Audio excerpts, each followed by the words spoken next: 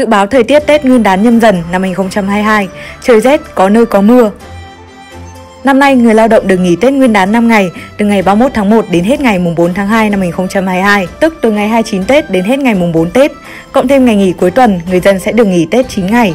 Một kỳ nghỉ dài như vậy thì việc theo dõi thời tiết để phục vụ du xuân, đón Tết là rất quan trọng trong bối cảnh dịch bệnh vẫn còn phức tạp. Theo ông Hoàng Đức Cường, Phó Tổng cục trưởng Tổng cục Khí tượng Thủy văn cho hay, giai đoạn trước Tết Nguyên đán nhâm dần năm 2022, miền Bắc sẽ có khả năng đón nhận các đợt rét đậm kéo dài từ 2 đến 3 ngày, nhưng nhiệt độ không giảm sâu như trong năm. Trong những ngày Tết, miền Bắc có xu hướng thời tiết chủ đạo là khô giáo. Trong khi đó, các tỉnh miền Trung từ Thanh Hóa đến Thừa Thiên Huế có xu hướng rét nhẹ về đêm và sáng.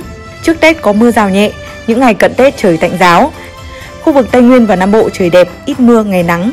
Bước sang năm mới 2022, các đợt rét đậm rét hại chủ yếu xuất hiện trong giai đoạn nửa cuối tháng 1 đến tháng 2 nhưng thời gian không kéo dài quá lâu. Cơ quan khí tượng cảnh báo rằng vùng núi cần đề phòng băng giá, sương muối, chủ yếu tập trung vào tháng 2 sau Tết.